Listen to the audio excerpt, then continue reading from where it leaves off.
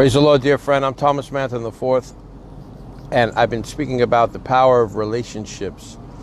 I'm diving right into part five. Let me see if I can show you a little scenery here. Look at that, that's right in front of me. Well, there's more on the other side, but you get the idea, right? All right, back. Okay, so the Lord spoke to me today. Uh, I've been running all day in meetings and appointments, and I want to come with some more notes and things like that uh, in, in, another session, uh, maybe tomorrow, the next day. But as long as I'll continue this, I have some other things from from that. But the Lord spoke to me this powerful analogy. Listen to this one.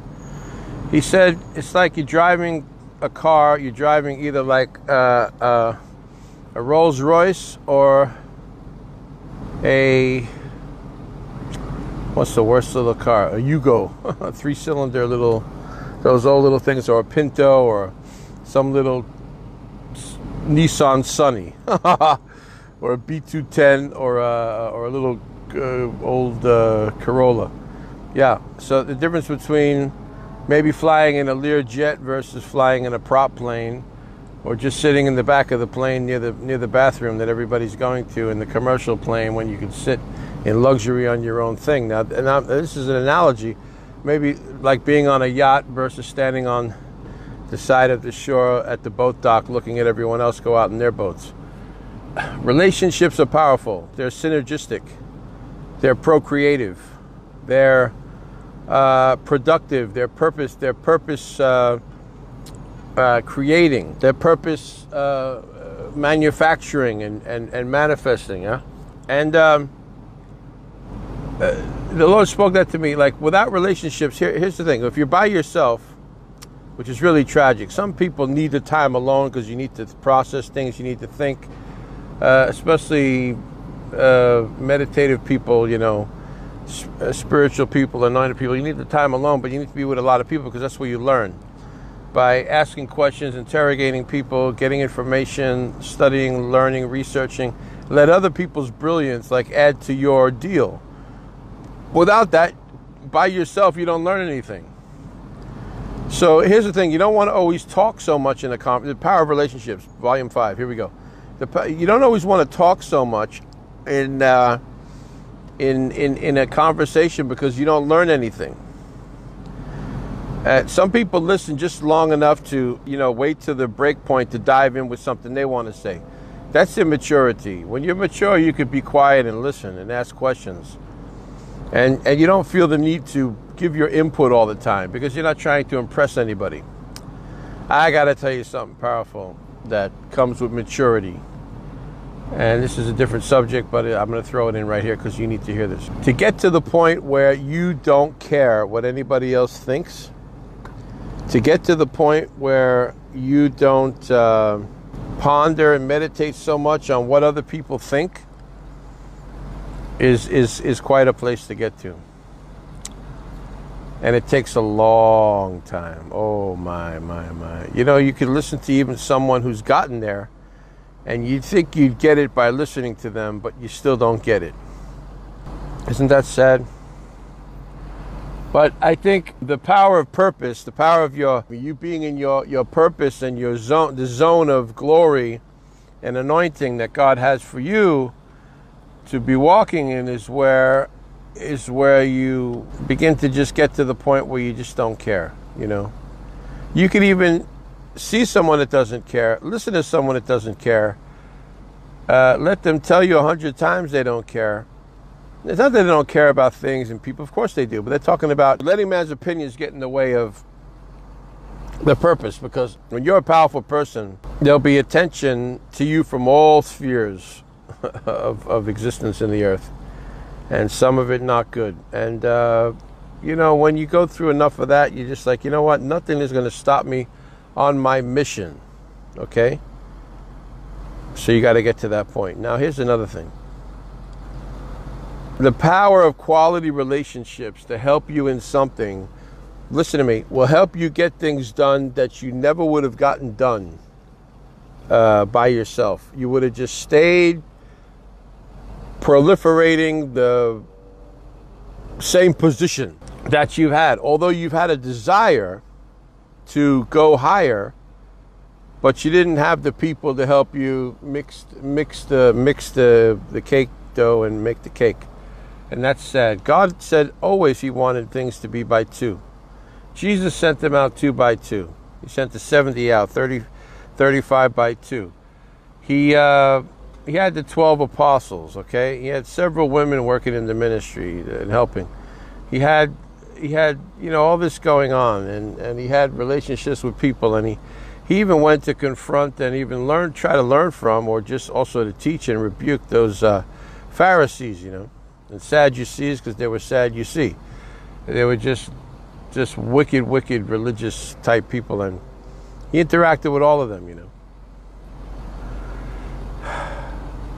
Paul, even in, in the book of Acts, we were reading, I was reading, the, uh, the, the anointing came upon him, yeah, and he had to get more prolific in presenting the power of God and proving that Jesus was the Messiah. And that had to do with his interaction with people. And um, people, people, people, people, people, people, people, people, people. I can say it a thousand times. I can't say it enough. God made the animals go two by two onto the Noah's Ark to save them, that they procreate. God made male and female, male and female, He created He them, or the focus on this camera. Anyway, I'm looking at it, but the uh, and He kept uh, them two by two. He even said it's not good for man to be alone. I'll make a helpmeet for him. The helpmeet help create everything. The things you lose when you're single, single people, get over it. Hope you, I hope you can adjust yourself and uh, get. Oh, the sun is going off. The sun is going. I wish it was out a little more, but we're at that time. Uh, and you'll just begin to get into a purpose-filled relationship a lot of us have heard God speak about it, and um, a lot of people have had prophecies given to them about it. A lot of people have had desires to have it. Well, the, the dream has to be fulfilled after a while. But the most important thing is that the relationship is procreative. So, the power of a relationship and having relationships where other people are interacting and bringing things to the table and causing production to happen will will cause you to be like if you were to want, say I want to pick a car, the one that costs six hundred thousand or one that costs uh, a thousand. That's going to break and fall apart and cause you to look like a, a blooming embarrassment to the kingdom of God because you're driving such a piece of junk, you know. Uh, I don't know. Poverty kind of matches itself with junk, yeah? And you definitely don't want to be uh, driving junk, living junk, wearing junk, being junk, junked. You're junked, junked up. You don't want to be junked up. You want to be trumped up. You want to be trumpeted up. You want to be uh, uplifted and elevated. So important. Father, in Jesus' name, I think I have to turn the lights on here. So I just wanted to say that quick revelation. I'll, I'll, I'll of course, I'll, I'll, I'll, come back at you uh, again in the next segment. So don't worry that we're just here for a few moments, but you needed to hear that. The power of relationship. That's the missing, that is the missing thing that you uh, ha- have been longing for something, to see something happen and fulfilled, but it hasn't been fulfilled yet. There's somebody that has the brilliance and the talent and the skill and the anointing and the wherewithal to help you uh, get something done. And it's not going to happen. Listen to me it's not going to happen you by yourself. You'll just keep perpetuating the same next day, next day, next week, next month, next year, and it still didn't get done. There are people assigned to do the work and the things that you need and the things you need help with, and you must find them and they must find you. That's where we're at right now. And if you stay by yourself or just with one or two that are unskilled and you know don't have that level of brilliance, you can't make it. Now, you, here's another thing: you have to pursue relationships. You have to go after it. You have to desire, and you say, "I got to get what I desire. I don't care anymore. I've got to ask, ask, seek, and knock." Okay, it's also in the power of birthing and connecting with people and building relationships that are procreative and pro pro pro productive. Yeah, pro productive. provisional, pro pro the vision, and uh, purpose purposeful. You have to go after them, and you have to get to the point where I just don't. Here's the here's the thing about the I don't care zone anymore. You can humble yourself and get humble and ask for help when you really really get desperate. Until then, your own pride and ego and self sufficiency, whatever, and you don't want anybody to think maybe you don't have it all together in every area. Come on. And you're going to have to open up to somebody. Not about everything, you don't want to be foolish, but in an area that you need help in. You know, the staff, you pay staff, you hook up with staff because you, you staff your weakness, as it's been said. You, you, you hire based on someone to be able to perform the thing that you definitely cannot do yourself. And this is crucial and critical for success to happen in your life. So, so uh, relationships, my friend, relationships, relationships, relationships, relationships, people, people, people, people, people.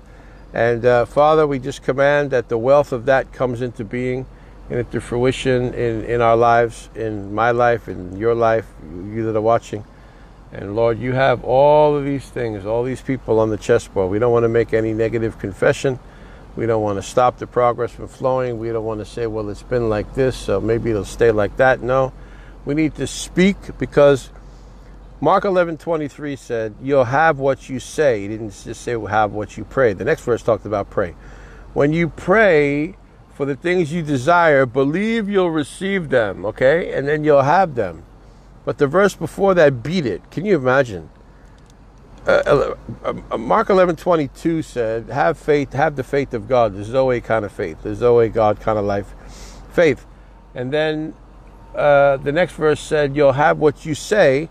And then the next verse, 24th verse, uh, Mark 11, 24 said, what you pray, believe, and desire, and you can have it. John 15, 7 also said, and, and, and Mark 11, uh, 25 is a real, another hindrance in regard of birthing relationships, some people can't trust somebody because you were hurt before. Well, you got to get over it. You got to get past it.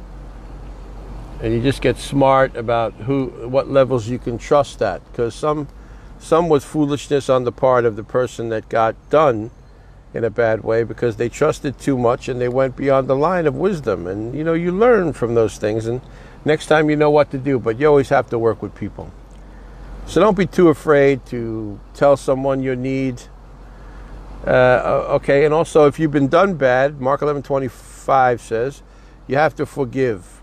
If you have aught with anybody or anybody with you, I mean, you with them, forgive them. Let them go because it heals you, it releases you from, from the problem. Forgiveness is a gift from God to us. It doesn't, it doesn't release the offender from their guilt, but it releases you from what they did.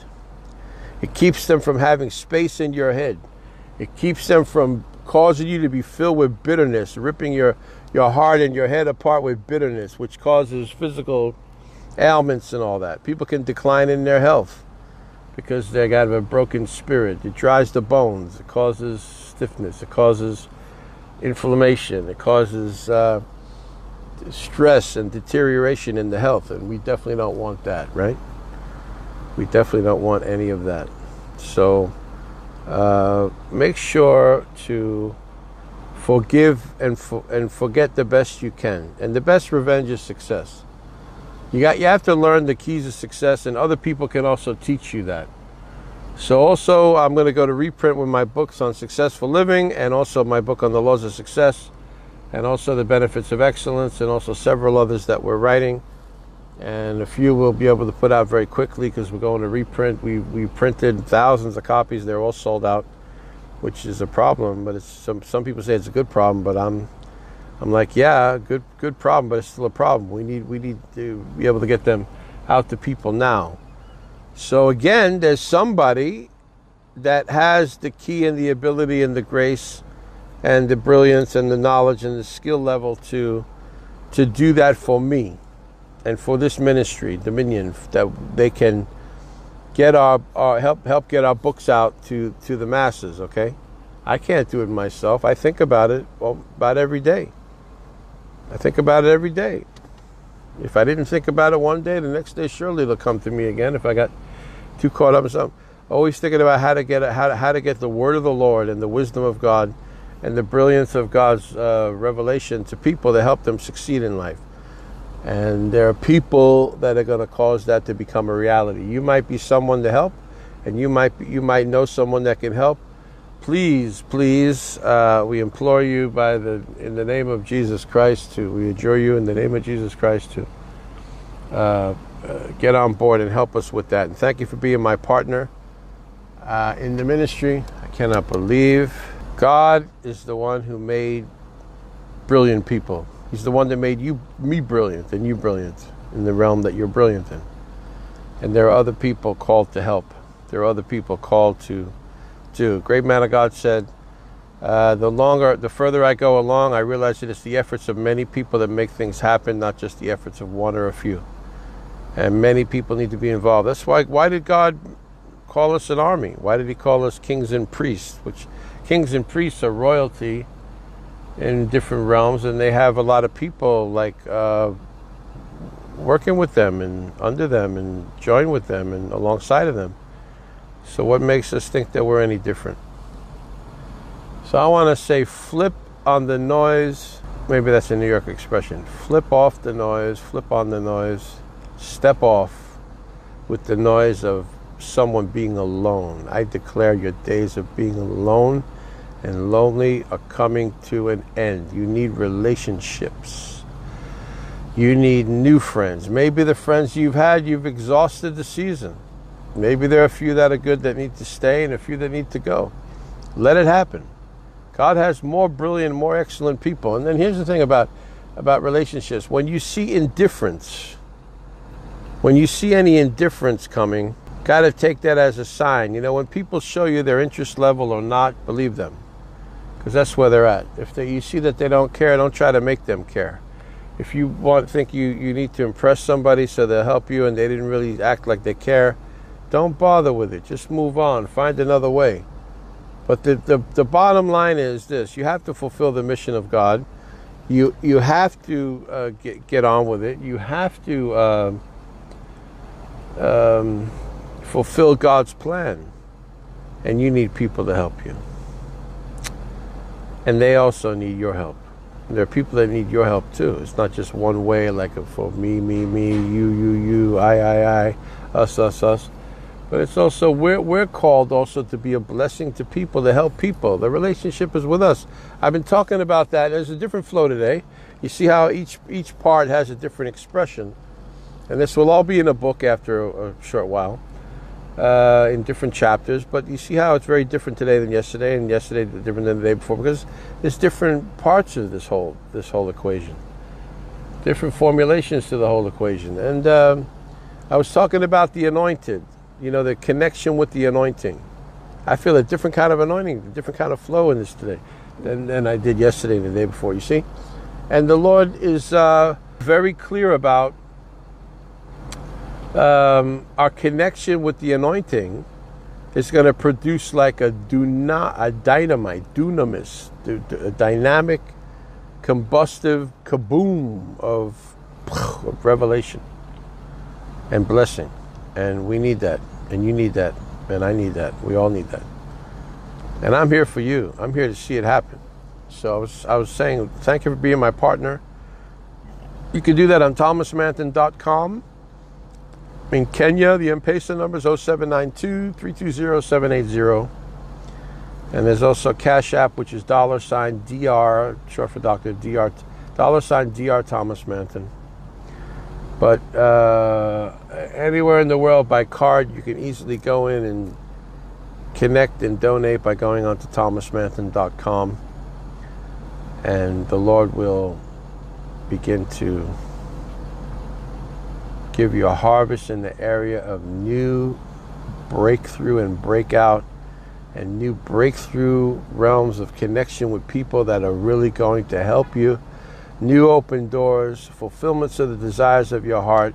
A thousand times more, I've been saying that. The Lord teaching you to profit, Deuteronomy 111 and also Isaiah 1 uh, 11, uh, uh, Isaiah 48 17, the Lord will teach you to profit and also Deuteronomy 1:11, God will make you a thousand times more, and He's going to do that through people also.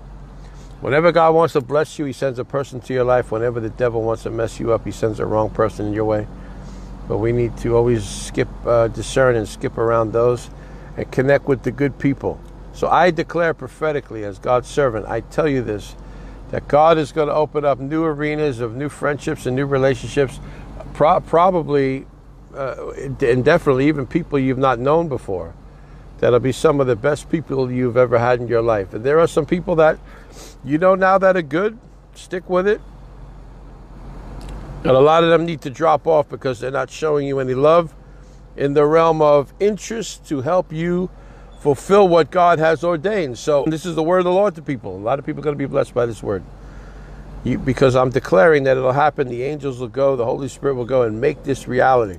There are some people you need to not take any more time with. They need to go, exit out, bye, bye, because there's no productivity there.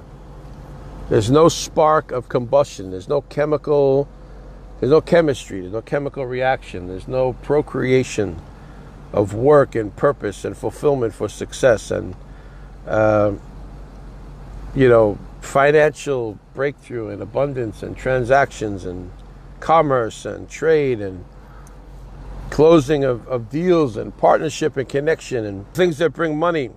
You know, it's just, uh, you just have to understand that God is, God is the author of good relationships.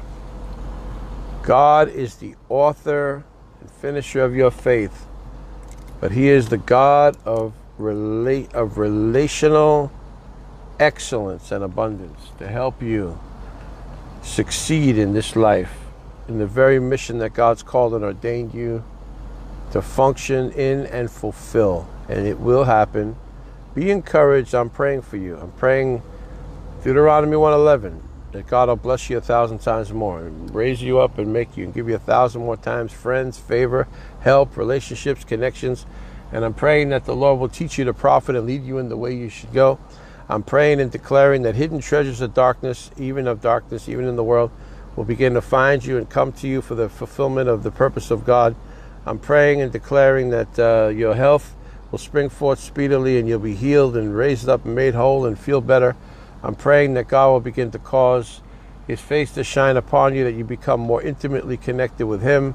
I'm praying and prophesying and declaring that the anointing of the Holy Ghost will come upon you from the top of your head to the soles of your feet and fill you to overflowing and give you the new blueprint and plan for the purpose that He has for your life and new inspiration, new excitement, new enthusiasm. Enthusiasm is a word that comes from in the Greek entheos, which means in God. So the word enthusiasm is a very powerful word. It comes from the, the vivaciousness of God. You're going to feel that. You're going to get more gregarious G R E G A R I O U S means that you become more people oriented. You become more cool with people. Where you were shy and timid before, I break that fear, I break that thing off of your personality, and, and you're going to begin to be able to talk to people and interact with people. And, and more than anything, ask them questions, you know? Ask them questions and interrogate them and get them in the. Uh, in the zone of, of giving you information and intel that you need to, to succeed. They'll help you. They'll help you. There are people that will help you. I declare it. They're here. There's 7 billion people on the planet. There's lots of people that can help you. You need to find them. You need to go after them. This is a very powerful message, isn't it? And God, yes, it is. And God is going to cause it to happen.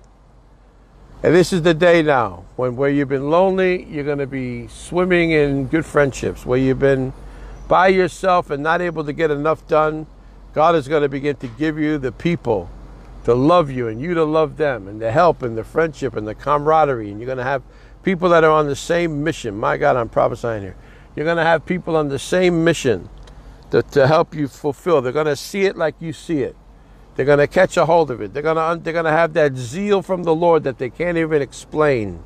The zeal of your house, the zeal of advancing your kingdom, Lord, is, is consuming me and, and getting me on fire that I could begin to uh, uh, you know, really move forward to the next dimension. Where you've been stuck, God is breaking the forces of, of however it happened. However it happened, God is breaking the forces of, of things that have kept you stuck and held you back and held you down and held you, kept you from moving forward. And I declare that anything that's caused you to feel any shame or sorrow or pain or bitterness or rejection or loneliness or depression is broken right now in Jesus' name. And you're going to rise up as a champion on top, like you're, like you're the captain of the world, like you're the king of the world. You're a king under the King of Kings. You're one of his kings. You're, you're as, as a woman, you're one of his queens. You're one of his daughters. As a man, you're one of his sons. You're one of his giants. You're one of his ambassadors. And you for the for the ladies too. You are. Yes, you are. You're an emissary. You're an ambassador. You're you're beautiful. You're wonderful. You're valuable. I declare it in Jesus' name. And I'm for you. God's for you. So who could be against you? And I'm for you. Who could be against you? I'm standing with you and I'm prophesying the grace of heaven over your life that something new is coming right now. You're going to see in this season the greatest outpouring of the Holy Ghost that you've ever known upon your life. It's going to be greater than anything that's happened before. It's going to be greater than what you've seen before. It's going to be greater than what you've come to, you know, to think of as normal. And that day is upon you, my friend. Oh, yes. That day is upon you now. In Jesus' name. The blessing of the Lord that makes rich and adds no sorrow. The blessing of the Lord that gives comfort and, and empowerment and grace for you to, and br- more brilliance and revelation and you know, audible uh, and, and internal direction from Him to chart your course out, He's the one that's going to give it. Your relationship with Him. I'm going to do a whole chapter on that, and that'll be first or the last, probably the first, but the last will be first. I, I, I mean, it'll be because because you and God are a majority. Increase by association comes from our increase because of our association with God. Let's never forget that. But I've been talking about people and relationships because he's ordained and anointed people. But there's one segment of his teaching that needs to, that that'll come forth: our connection with God and the intimacy of you, and Him face to face, like Moses was his friend, like Abraham was his friend, like God spoke to Moses, like like a man would speak to uh, his brother or friend face to face, and Abraham became the friend of God, you know, and Enoch walked with God and was not, for God took him. He was so caught up in God that you know, he had that connection. So that's the first part of all of it. And you may think you know that, but you haven't like walked in it enough. I'm, I'm sure of it. There's always a greater dimension uh, uh, uh, for, for your connection with Him to be fulfilled. And I'm going to cover that in another another volume of this teaching on the power of relationships. Today was volume five, and I'm t- I'm telling you this, my friend. Be encouraged because the courageous one is with you. I'm courageous, I'm with you, and I'm for you. And I'm praying for your success. And I'm praying for your breakthrough. And I know by the Holy Ghost, you're very encouraged by listening to this today. You are invincible. You are mighty. You are powerful. You are an impenetrable fortress. You are the anointed of God. You are the elected of Jehovah. The gift and talent that He's put in you is phenomenal, beyond imagination. It's yours. You are that one. Don't, don't let anybody stand in your way and let you feel in any way inferior or uh, uh, uh, wrong, like there's something wrong with you. You know, someone that portrays that to you, there's something wrong in the equation there. There's something better that God has. And the funny thing is, sometimes we're in the midst of many gifted people but it doesn't always light and rock your world. You still need to have your, your own functionality and the level of expression that God's given you, regardless of what church you're in, what relationships you're in, where you're at. There's still the reality that God has called, commissioned, and ordained you. He's called, commissioned, and ordained me. In 1986, in the last century, so I've been around a few minutes. The Lord Jesus Christ appeared to me in an open vision, laid his hands on my head, and said, My son Thomas, I've ordained you as my prophet to the nations, and you will go, and you will, and many, many more things he said. And that was an open vision. That was a commission I had. I've been feeling, I was thinking about this yesterday. well, I want to bring some dignity to, the about the prophetic office. I want to bring some understanding about the governmental realm of the prophet in the body of Christ. We're we're a very high part of the echelon in the order. We're we're number two in command. Under the, the apostle is the only one that would be above. And people misunderstand prophets and they think that this prophet thing is something else and and other people want to say, How do you call yourself a prophet? Well, if my name is Thomas and I say I'm Thomas, is that appropriate for me to say my name, my office, and what I do, and what God has called me, and what He spoke to me and commissioned me to do? Is it okay that I say that? Of course it is. But I don't have to say it, we just do it and function in it, and it flows, and everybody can know.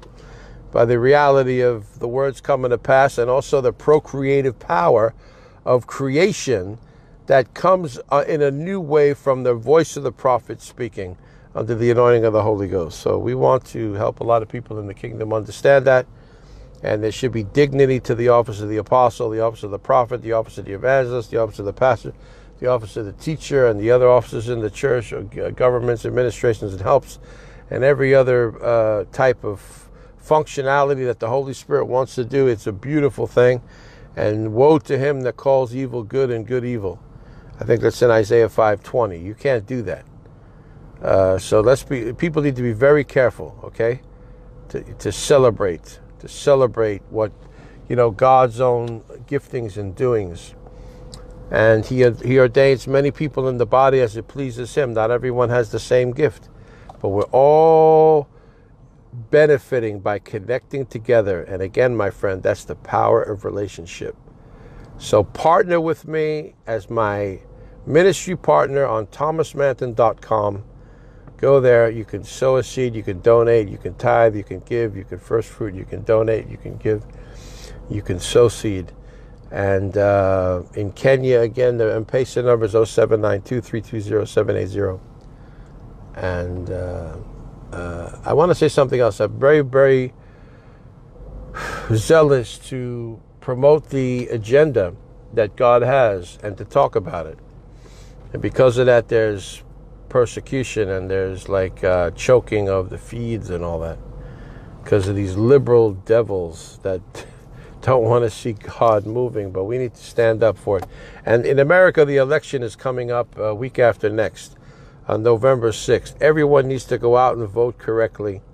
And we know the party of choice that has all of the right policies. So find that ticket. It's the red color one and just go right down the line and make sure that our House of Representatives and our U.S. Senate remain in the hands of the ones who have the best policies and not these other crazed people that want to help destroy the world. It's not time for that to happen.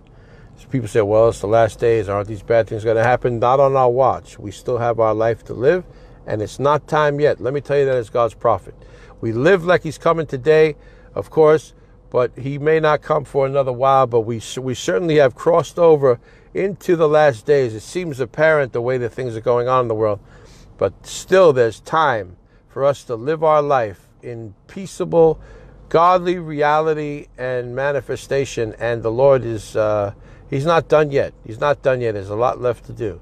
So just part of your job is to destroy the works of the devil and not put up with his, his garbage and his foolishness. Don't allow evil people to dictate. So all of the, the church needs to rise up in the kingdom of God and go out and do the right thing, especially in the upcoming American election, and make sure that uh, America stays on the right course because that's also touching the entire world. So we're not taking any garbage off the devil. Did you hear what I said? In Jesus' name. And you in your personal life can't. And I'm praying for you, our relationship is causing breakthrough and change for you. Share this message, share this, share this, share this with all your friends and people that you really care about. They need to hear this teaching and the other parts to it also. And I'll see you here on the next broadcast. I love you so much. I'm Thomas Manton IV, your success strategist at God's Prophet to the Nations. I thank God for his anointing. And I'm praying for you that the Lord will teach you to profit and lead you in the way you should go, and they'll raise you and make you a thousand times more in every area of your life to be blessed and to see his blessing and to taste and see that the Lord is good. That day's upon us. And now the people and places and events and situations that He's ordained relationally to help, they're coming forth in Jesus' name. I declare it as God's servant in Jesus' name. ThomasManton.com is the website. I'm Thomas Manton IV. I will see you again on the next broadcast. God bless you so abundantly. That's my prayer. In Jesus' mighty name. Amen.